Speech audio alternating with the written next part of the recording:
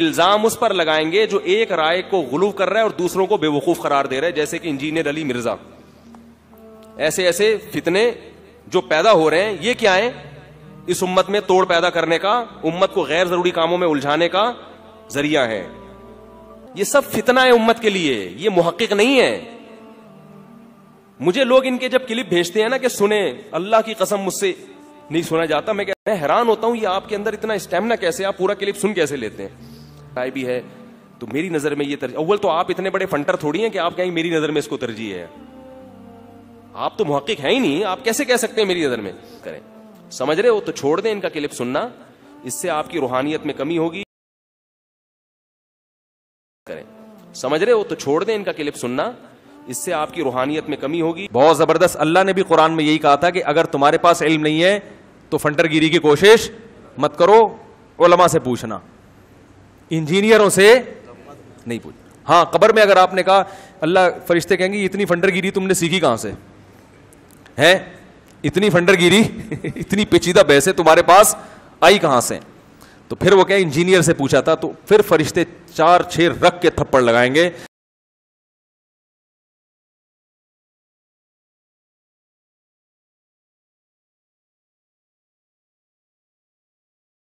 क्योंकि आयतुल कुर्सी की बात हो रही है और इंशाल्लाह ये क्यामत तक के लिए एसेट बन जाएगा, वीडियो बुक बन जाएगी।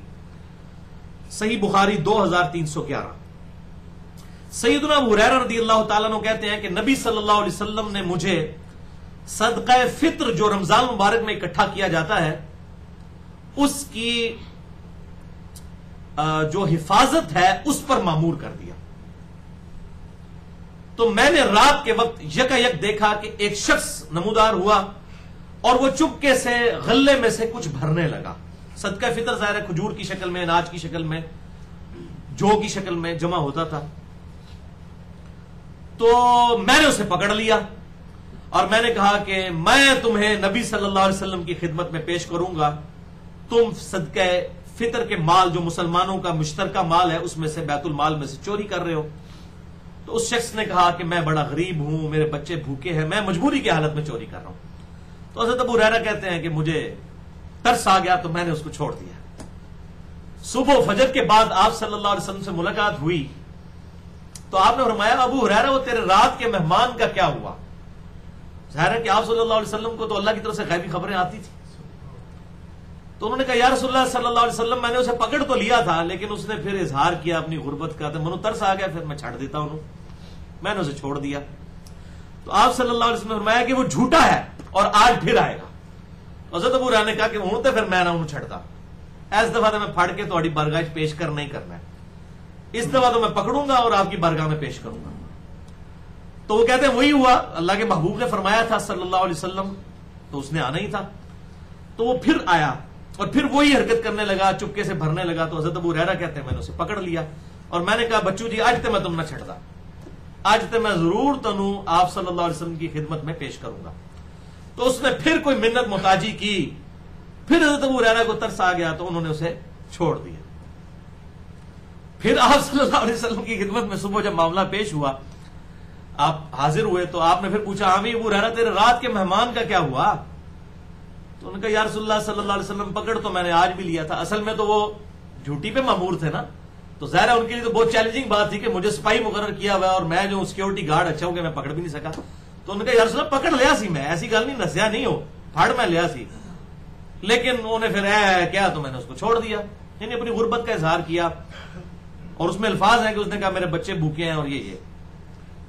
तो आप वसल्लम ने फरमाया कि वो झूठा है आज फिर आएगा। आप आप जरा सोच सकते हैं कि दो बार जिसके साथ हाथ हो गया हो, तीसरी बार वो जाने देगा? कभी भी नहीं। उन्हें कहा जी, हूँ तो जनाब बच के जा ही नहीं सकता। जो मर्ज़ी बहाना करे, मैंने नहीं उसको छोड़ना। पकड़ लेना है। तो ज़ाहिर इसकी बात तो यदि हम भी होते हैं तो हमारा भी ये होता कि जनाब, एक बार होता है, दो बार, हूँ, तीसरी बार उन्होंने कहा जी, हूँ तो जनाब, जब आप वसल्लम कह रहे हैं कि वो झूठा है तो आपको गुंजाइश ही नहीं ना रहती? फतवा भी मिल गया। सही हदीस की रोशनी में। तो वो फिर रात के वक्त आया, उसने फिर गला भरना शुरू कर दिया।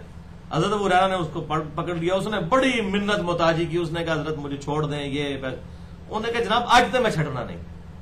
जो मर्ज़ी हो जाए, मैंने तुझे आज नहीं छोड़ना। तो उसने कहा अच्छा मैं तुम्हें जो हूँ, वो एक ऐसा वजीफा बताता हूँ, जो तुम्हें नफा देगा। कि तुम वजीफा रखो। यानी उसने आप समझ लें कि रिश्वत के तौर पे ये बात की, या सिफारिश के तौर पे बात की, जो भी बात, बरल।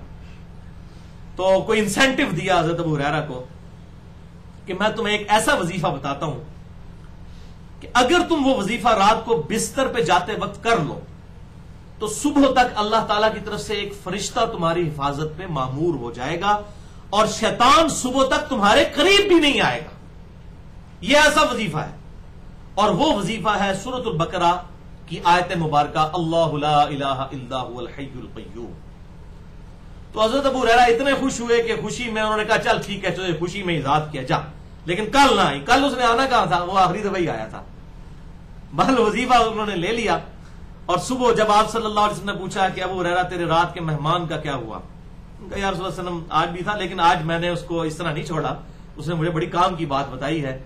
सूरतुल बकरा की आयत नंबर 255 अल्लाह अगर तुम पढ़ लो तो पूरी रात एक फरिश्ता तुम्हारी हिफाजत पे मामूर रहेगा और शैतान तुम्हारे करीब भी नहीं आएगा।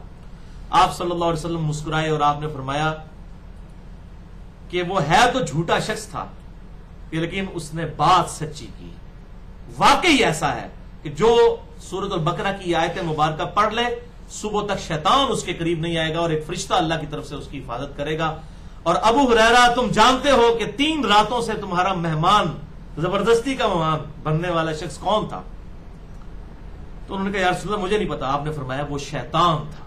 ज़ाहिर शैतान तो झूठा है।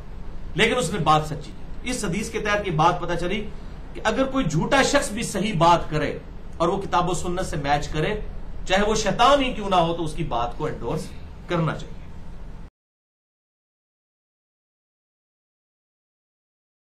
इस हदीस के तहत की बात पता चली कि अगर कोई झूठा शख्स भी सही बात करे और वो किताबों सुन्नत से मैच करे, चाहे वो शैतान ही क्यों ना हो तो उसकी बात को एंडोर्स करना चाहिए।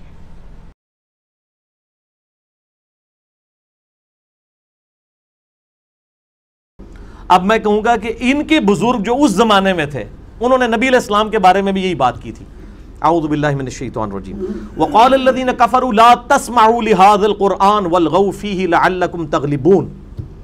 कहते हैं, कुरान जब पढ़ा जाए ना, इसको मत सुना करो और शोर मचा दिया करो ताकि तुम गालिब आ जाओ। तुम कुरान पे तभी गालिब आ सकते हो जब कुरान की दावत पेश की जाए तो तुम पिच खोद दो, तुमने कोई सुननी ही नहीं है। तो जो ये बात करेगा कि बात सुननी नहीं है, उसको तो हदायत मिल ही नहीं सकती। अल्लाह ताला फरमाता है कुरान हकीम के अंदर सूरतुल अनाम की गालबन 36 नंबर आयत है। इनमा यस्तजीबुल्लदीना यसमाउन हक बात वही कबूल करते हैं जो बात सुन लेते हैं। वल मऊता यबअसहुमुल्लाहुम्मा और जो मुर्दे हो चुके हैं, अकल के अंधे मुर्दे, ये क्यामत वाले दिन ही उठाए जाएँगे। यानी अल्लाह तला माता जो दुनिया में कहता है ना, बात सुननी नहीं है, उनको कभी भी हिदायत नहीं मिली और जब क्यामत वाले दिन फिर ये क्या कहेंगे? काश दुनिया में हमने बात सुन ली होती, अपनी अकल इस्तेमाल की होती, आज हम दोस्तियों में ना होते। वहाँ कहेंगे काश सुन ली होती। यहाँ कह रहे मत सुनो। वहाँ कहेंगे काश सुन ली होती। आज दोस्तियों में ना होते। तो अल्लाह माता है, फ़ातरफू बिजम्बिहिम इन्होंने अपने असली जुर्म का इतराफ़ कर दिया फसुहकली असहाब सईर लेकिन आज इन दोस्तियों के ऊपर फिटकार हो। ये तो था इल्मी जवाब।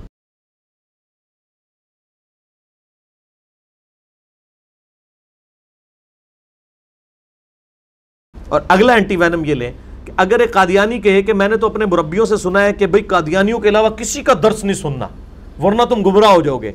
तो उसे कभी खत्म नबूत समझ आ सकती है? बस बाकी भी इसके ऊपर कयास कर लें कि अगर हर फिरका अपने अपनी डेढ़ इंड की मस्जिद में अपने आप को बंद करके कि मैंने दूसरे की बात नहीं सुननी, उसको कभी समझ आ सकती है? तो जो चीज़ आप अपने लिए पसंद करते हैं ना, अपने भाइयों के लिए भी पसंद करें। और हम तो कभी भी रिस्क नहीं लेते। मेरी, अल्हम्दुलिल्लाह, पिछले दस साल में जितनी वीडियोज़ हैं नॉट अ सिंगल वीडियो में आपको ये बात मिलेगी, बल्कि मैं हमेशा तरगीब दिलाता हूँ कि सारों की बात सुने, उसके बाद एंड पे इंजीनियर साहब की सुने, आपको पता चल जाएगा किसने आपके साथ हाथ किया हुआ है। हम तो कहते हैं लोगों की बात सुने, ये कहते हैं इसकी ना सुने। तो इनके कहने से कुछ नहीं होना यूट्यूब पर पाबंदी नहीं लगनी।